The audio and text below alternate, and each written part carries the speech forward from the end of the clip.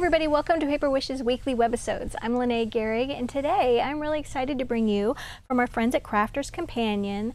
These are Gemini centerpiece dies. They're for the holiday season, Christmas and winter, and I love them and I can't wait to show you what I did with them. So here's one just cut out of a white card.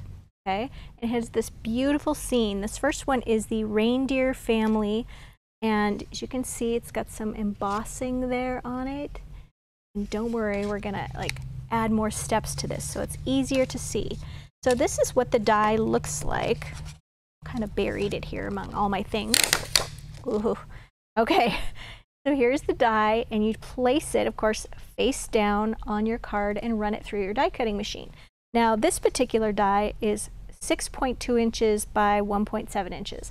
And if you have a big shot um, die cutting machine like I do, that's a little bit problematic because the platform is only six inches wide. So we have to account for that 0.2 inches to make these go through our machine. So I have a little bit of a cheat for you here to help you out if you have a six inch wide platform.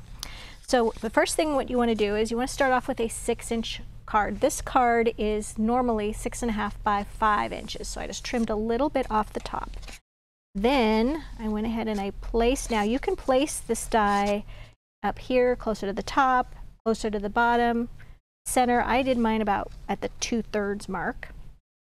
And then you're gonna wanna use a little bit of our a low tack tape. This is a hunky dory low tack tape. It's great for there we go. Uh, cutting dies. You could also use washi tape, any kind of low tack tape that's not going to stick to your paper. So you want to make that sure that's secure there so it doesn't wobble around.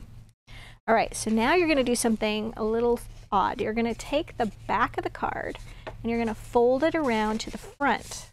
All right, and then you're going to take a piece of just scrap cardstock. I've used this multiple times. You're going to sandwich it in the center. All right. So then you're going to put this through your machine like this, okay? And then when you open it, okay, when you open it, this is what it's going to look like. You're going to have a little bit of an impression on the back.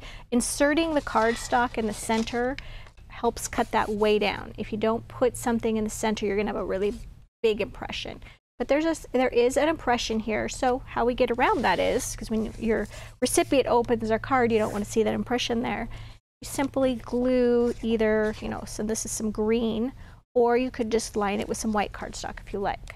I happen to like it because if you do the green, it really pops up like this. Now you can have your card so that it's got this open piece right here, and then there's lots of place to, you know, to write your Christmas or winter wishes down here. Um, or you could actually glue it to the card inside back like this. So you have lots of space to write, okay? Once again, covering up your marks here. All right, so that's how that works. So let's get to the actual design on this card and how this is gonna work. So what I did was I actually die cut it once from the white card and then again from a couple of different colors. And I like these sort of muted colors of green and tan.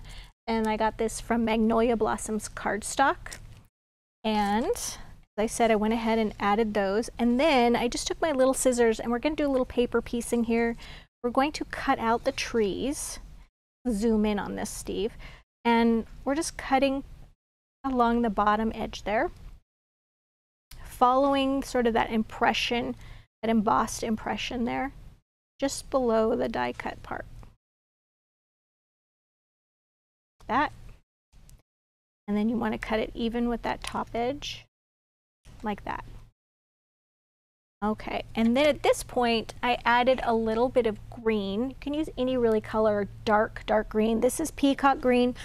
Excuse me, I think I originally used um, evergreen, but peacock works as well. And I like to use just a little dauber. These are sponge daubers when using small little pieces. Or you could just use the surface of the ink pad to just brush some on. I like to sort of go heavier on one side and just lighter on the other. So I'm just bending that piece back like that.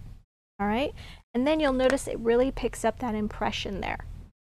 Got some ink on my fingers. All right, and then you're just going to take some glue. We like to use Cosmic Shimmer Specialist Acrylic Liquid Glue. And you're going to just glue those down and align that right there. Let's open it up. You're going to glue the green image right on top of the white one, like that. All right, and then we're going to do the same for the deer. Let's just do the single deer here, the reindeer rather. Not sure really what makes them reindeer. Could be regular deer.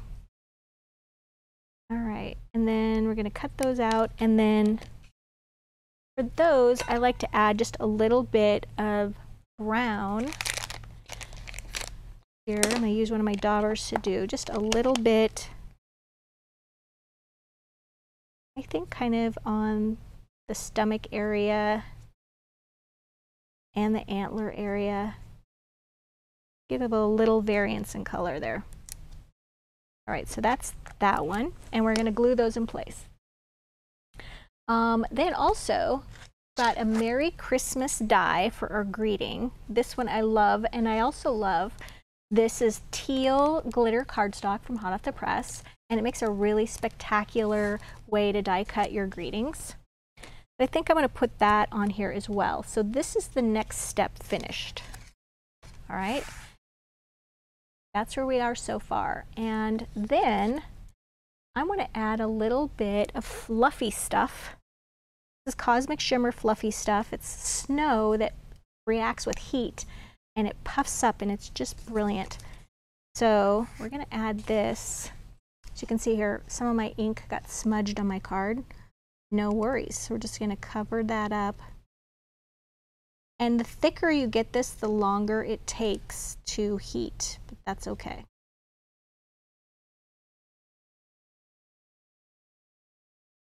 And then just putting a little bit on the trees. Going across here.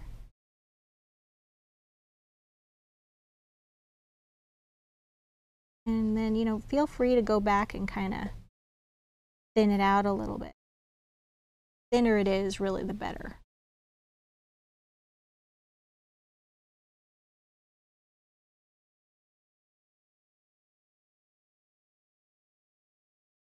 All right, so that's there. All right, now I've got my heat gun over here. All right, so I'm going to turn this on and then we're going to apply some high heat to it. We don't want to get terribly close because we're we are heating paper.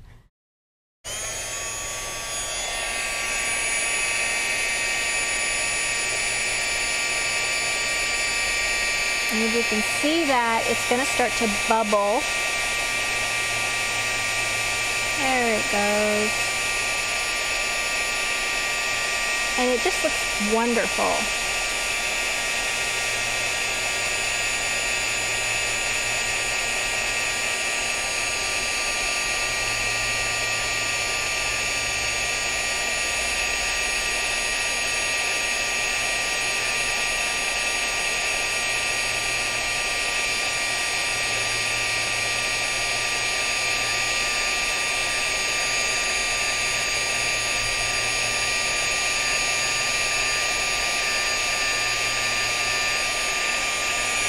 Make sure to keep your fingers away from this because it is a very hot gun here. I just love how that just starts to pucker and it takes off. It's a really satisfying product to use. All right, we got to get those up on the trees. I think we got everything. Oh, under the deer. All right, there we go. Right, so I love how that turned out. Now, um, we could use, could leave this white with a white backing on it, but it really turns out much better if you put a little color behind it. And here's some blue, also from that Magnolia Blossoms cardstock. I used this shade right there. And I'm going to put that in there, and you can see I've got some sort of ink on there, a little spattering. And that is this product here, White Ink Spray. You just mist this on let it dry for a few minutes, and then you've got this wonderful snow effect. And I'm just going to glue this to the inside back. Now, as I said before, you can line the back of the card with this way so those impressions on the back of your card um, are not showing. But you know, if you have a wider nine inch wide platform, you wouldn't have this here. So you wouldn't need to line this. Um, you can also glue everything to this piece, okay? And then you'd have this piece right here. So um, by doing that, you would just cover everything here with a little bit of glue and do that. But I'm gonna cover my card back. I also like this, sort of the dimension. Um, I don't know, it's like a little peekaboo quality, that window quality that I love. There we go. And we're just going to glue that this.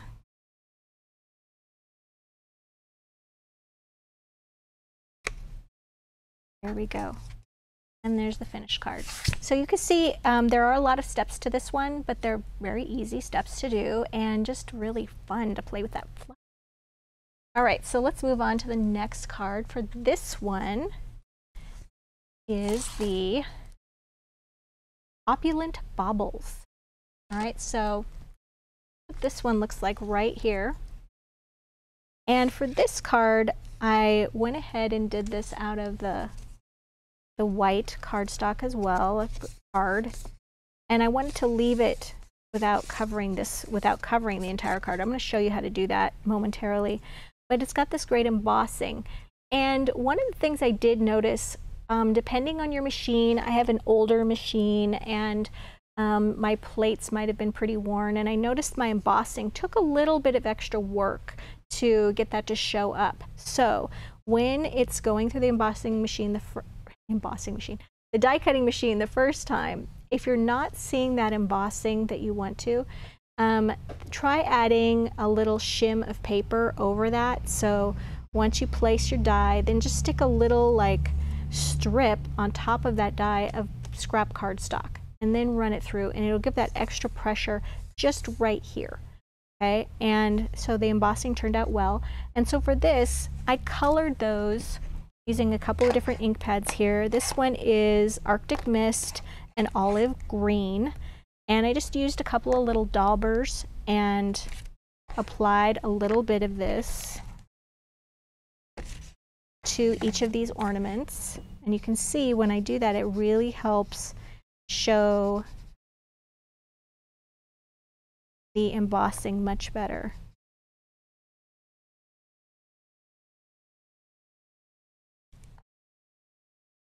Really see that much better. So I just did, you know, alternated the colors there.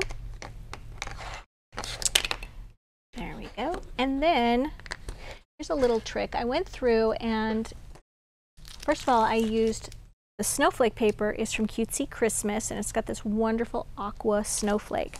So I put that through the machine and this is what I came out with. And I'm going to cut away these pieces so I can just use these curved pieces that I'm then going to glue on my card front.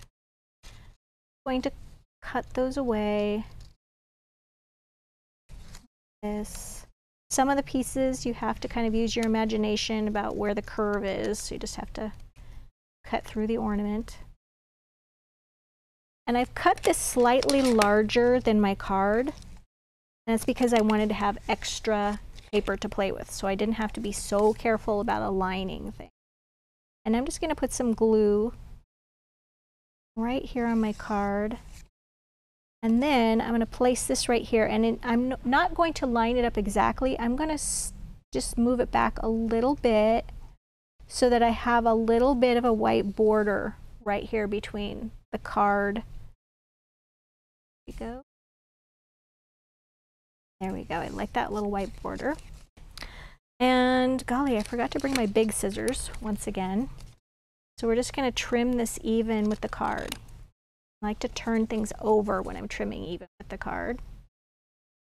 That way I get an exact fit. And yes, I should be using my larger scissors. I think the last time I did this, we did these centerpiece dies. I did the same.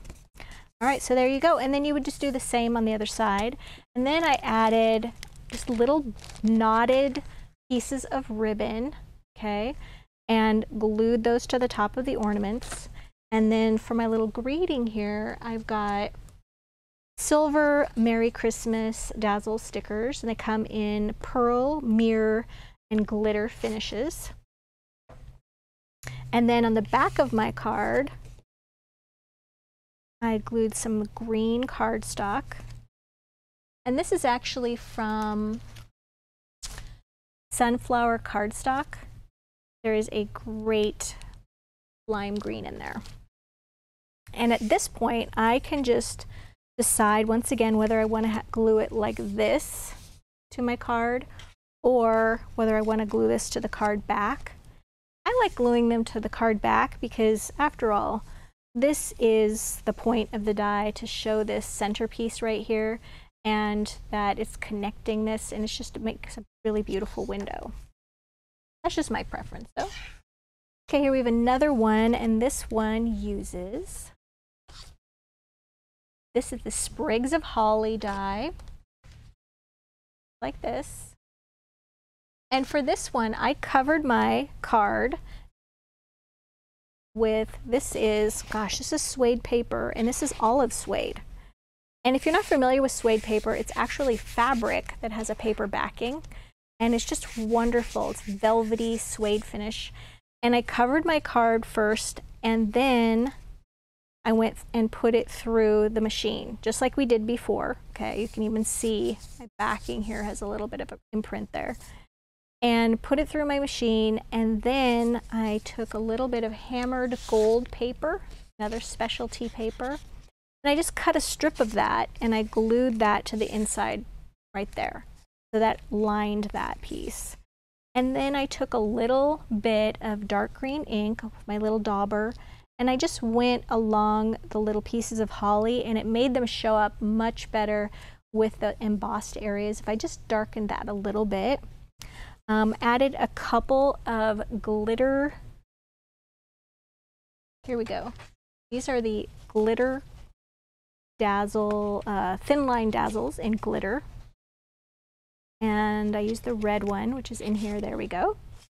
Just along the edges like that. And then this little guy right here, this is the from Joy, Hope, Love, Peace cutting dies. And I used gold glitter cardstock for that. And then of course for this, my little berries and my holly bow, it would have been really tricky to die cut those um, and we'll actually to run this through the machine and then cut out those holly berries. So I decided instead of, you know, trying to cut those out out of gold glitter, or rather red glitter paper, I just went ahead and used some stickles and um, just outlined my bow right there, went down the center of the holly, just followed the embossed lines, and then just added some for the berries right there and let that dry for a couple hours and that was really easy to do. All right, so here we have another card. This is my last one. And this one, I think I buried all my dies. Here we go. This one is Follow the Stars. What the die looks like, and it's got this brilliant nativity scene, and I cut this out of new from hot off the press. These are our glitter cardstock cards, and they come with an already scored for the fold. They come in uh, several different colors. They come in gold, blue, silver, and red, and I thought the blue would just be, be beautiful on this because it is that silhouette at night. Um, so what I did was I went ahead and used the same technique um, of running it through the machine. This is really heavy stuff, so um, I was a little worried how it would die cut with these intricate pieces. No problem at all. Just added just a little shimming like you would normally do when you were maybe adding a little extra paper there to press down more, but totally fine. Um, then I backed the inside with a little bit of a really pretty swirly paper right here. This, this is the one I used. It has a little bit of pattern on that and blue and white and a little script. And this is from Blue Persuasion Paper Pack. That one right there. And then I just added a little strip, use my paper cutter, of the white glitter cardstock. And then on top of that, I added a silver, right there, a little thin line glitter at the top and bottom there. And then the Noel is silver and it comes from the um, Christmas greetings collection and I use the script greetings right there. It also has little tiny words and phrases on it too. That's a great pack to have. Put that right there and then top that off with a velvet shimmer ribbon bow and glued that to the center. So there we have it. There's a whole bunch of techniques. As you can see, they're very versatile. You can use all different kinds of paper and cardstocks and glitter and have all kinds of fun with these. So um, you guys, I know that these are gonna do really well and sell out, so make sure you jump on those for Christmas if you're even thinking about it. And if you're watching us on our Paper Wishes webisode page, we have a great money saver for this. You just wanna check it out on the right-hand side of the screen.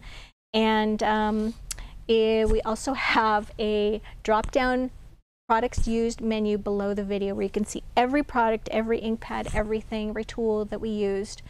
Um, so you can check those out. And if you're watching us on YouTube, we haven't forgotten about you.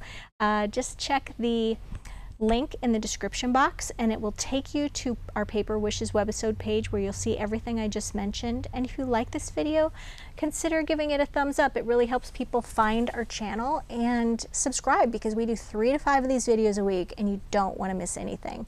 Thanks for joining me today, and I'll see you next time.